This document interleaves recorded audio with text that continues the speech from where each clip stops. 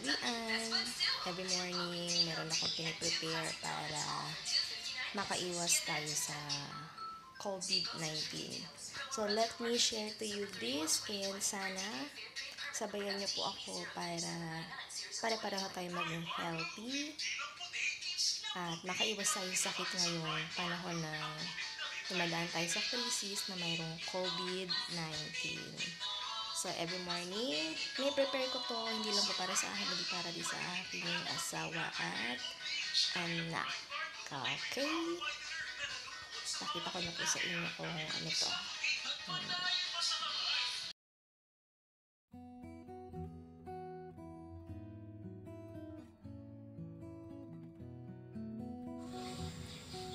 Ito na po, takpulaan na natin siya.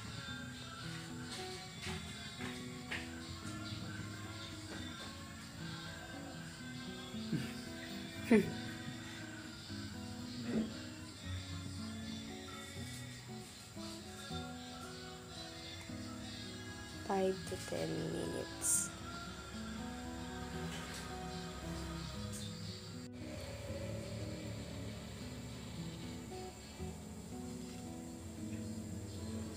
So, every morning po and afternoon, uminom po tayo ng salabat, ginger tea. Mas maganda kung yung mismong luya ang ating bibilhin na buo na siya nating babalatan kaysa yung mga powder na luya.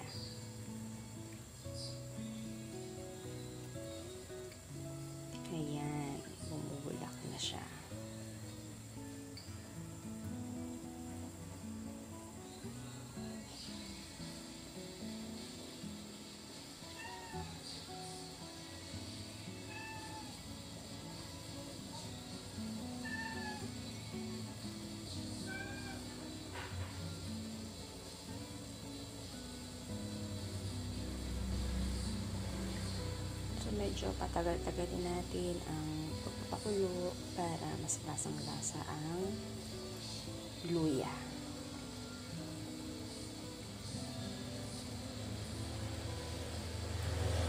Iwas-iwas muna tayo sa coffee tsaka sa ibang mga drinks lalo na sa soft drinks. So ito pong salabat makakatulong para makaiwas tayo sa COVID Siyempre, samahan na rin ng exercise araw-araw.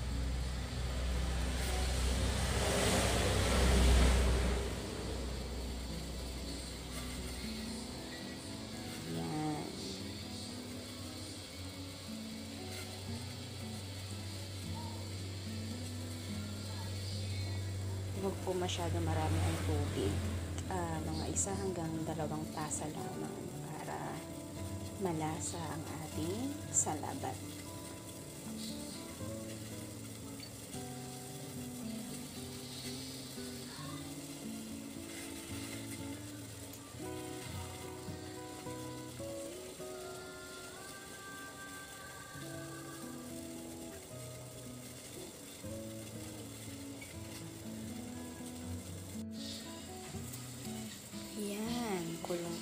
Na siya. Okay. Bukod po dito sa pag-inom lagi ng salabat every morning and afternoon, syempre, wag po natin kalimutan na minom ng 8 to 10 glasses of water daily. Syempre, kailangan enough yung ating sleep. Mag-exercise tayo daily. Inom tayo ng vitamins, kain tayo ng fruits and vegetables. Iwas po tayo sa mga pagkain mamantika. Ayan. Sa panahon po ngayon, bawal magkasakit. Mahal magkasakit. Kaya ingatan po natin ang ating kalusugan. Hindi lang para sa ating sarili, syempre, kundi para na rin sa ating mga mahal sa buhay.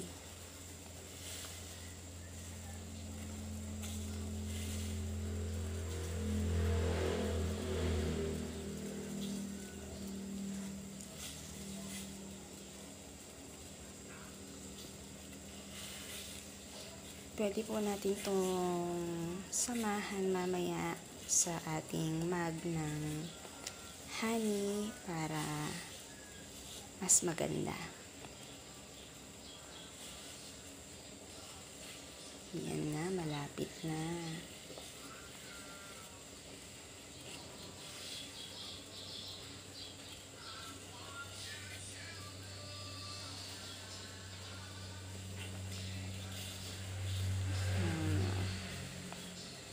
Ito po, binabaon ko pa to sa school kasi para hindi ako masyadong mapaos kapag ako ay nagtuturo.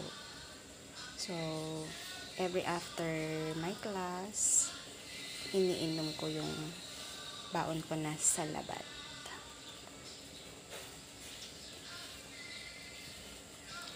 And then, hanggang sa naging habit ko na na daily, ito lagi ang aking iniinom morning and afternoon.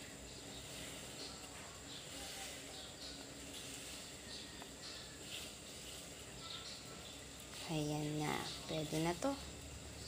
Naka 10 minutes na ako ng pagpapakulo sa kanya. Okay. Eh, ito na po ang aking mahiwagang salabat. O, diba? Pag di ka pa naman na-inspired sa pag-inom, itong mag na ginagamit ko, may picture pa namin mag-asawa. Eh, iinumin po natin yan every morning and afternoon yung salabat na yan. Siyempre, idagdag mo na rin po natin ang iwas-iwas muna tayo sa paglabas-labas para hindi po natin kasi sigurado kung sino ang ating mga makakasalubong at makakasalamuha, kung sino ba ay carrier o hindi ng COVID na yan. Tsaka, para na rin makatipid. Magastos po kasi pag malimit ang ating labas-labas na. Iwasin muna tayo sa mga handa-handaan pag-attend ng mga gatherings. Siyempre, pagkalimutang magsuot palagi ng mask, face shield, magbaon tayo sa ating bag ng alcohol. Ayan. Kaya iinumin ko na po ito. Inumin na, iinom na po kami. Ah, mag-start na rin po kayong maglaga ng luya. Okay po. So, till my next upload, samahan niyo po ako para sabay-sabay tayong maging healthy. Bye-bye! Don't forget to subscribe and click the notification bell. Thank you!